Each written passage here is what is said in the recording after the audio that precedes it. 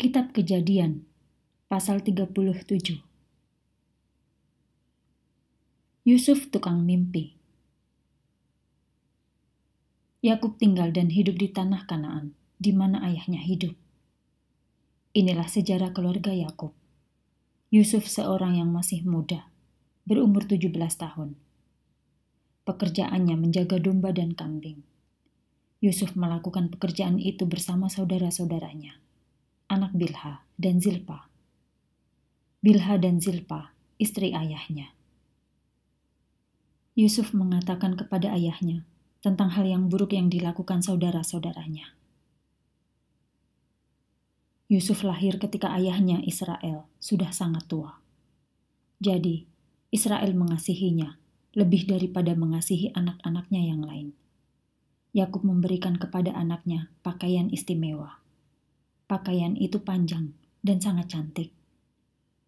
Saudara-saudara Yusuf melihat bahwa ayah mereka lebih mengasihi Yusuf daripada mengasihi mereka. Mereka membenci saudara mereka karena hal itu. Mereka tidak mau berbicara baik-baik kepadanya. Satu waktu Yusuf bermimpi. Kemudian dia menceritakan tentang mimpi itu kepada saudara-saudaranya. Setelah itu, mereka semakin membencinya. Yusuf mengatakan, Aku bermimpi, kita semua bekerja di ladang, mengikat berkas-berkas gandum. Kemudian berkasku berdiri tegak. Berkas itu berdiri ketika semua berkas-berkasmu mengelilingi berkasku. Kemudian semua berkas gandummu sujud kepada berkasku. Saudara-saudaranya mengatakan, Apakah engkau anggap bahwa engkau menjadi raja dan memerintah atas kami. Mereka semakin membenci Yusuf karena mimpi itu tentang mereka. Kemudian Yusuf mempunyai mimpi yang lain dan menceritakannya kepada mereka. Ia berkata, "Aku mempunyai mimpi yang lain. Aku melihat matahari, bulan, dan sebelas bintang sujud kepadaku." Yusuf juga menceritakan tentang mimpi itu kepada ayahnya. Tetapi ayahnya mengecamnya. Ayahnya mengatakan, "Mimpi apa itu? Apakah engkau percaya bahwa ibu, saudara-saudaramu, dan aku akan sujud kepadamu?" Saudara-saudara Yusuf terus cemburu kepadanya, tetapi ayahnya memikirkan tentang semua hal itu dan heran apa maksudnya. Pada suatu hari, saudara-saudara Yusuf pergi ke Sikem menggembalakan domba ayahnya. Yakub berkata kepada Yusuf, "Pergilah ke Sikem. Saudara-saudaramu ada di sana bersama dombaku." Jawab Yusuf, "Aku akan pergi."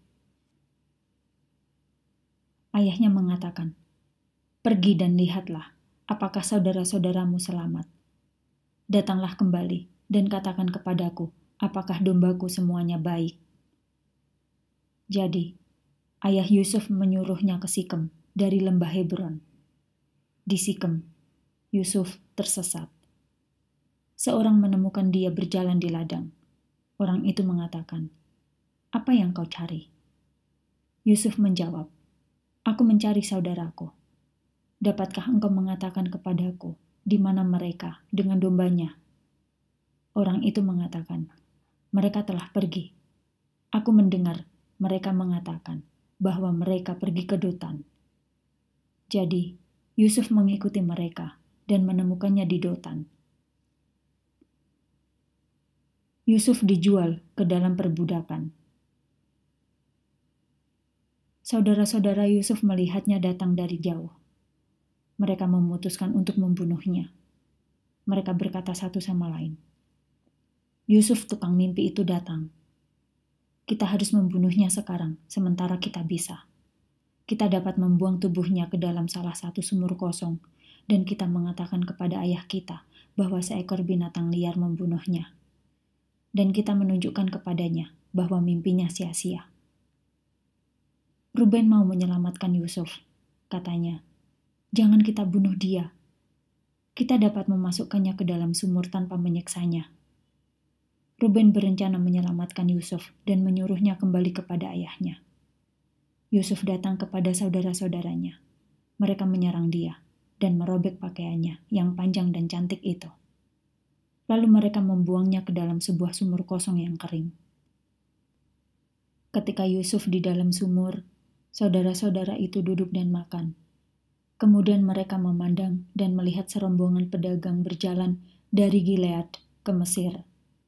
Unta mereka membawa berbagai jenis rempah dan barang-barang.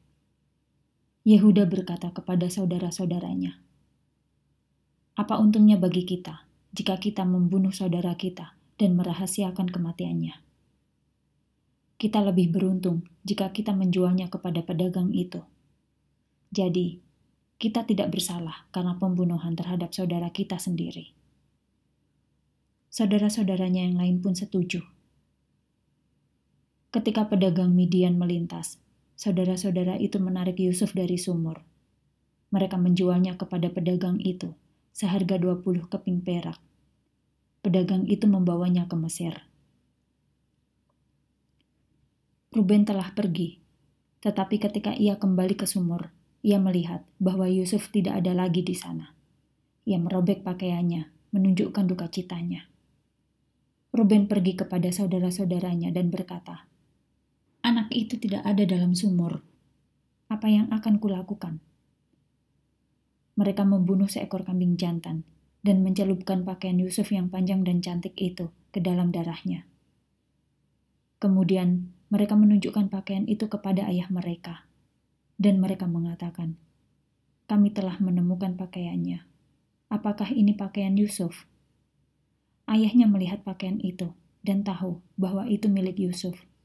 Ia berkata, "Ya, itu pakaiannya." Mungkin beberapa binatang liar telah membunuhnya. Anakku Yusuf telah dimakan binatang liar. Yakub sangat sedih tentang anaknya sehingga ia merobek pakaiannya. Kemudian Yakub mengenakan pakaian khusus, menunjukkan bahwa ia sedih. Ia terus sedih karena anaknya untuk beberapa lama. Semua anak Yakub laki-laki dan perempuan berusaha menghiburnya, tetapi Yakub tidak pernah terhibur. Ia berkata, "Aku sedih karena anakku sampai hari kematianku." Jadi, Yakub terus sedih karena anaknya Yusuf. Pedagang Midian kemudian menjual Yusuf di Mesir. Mereka menjualnya kepada Potifar, kepala pengawal Firaun.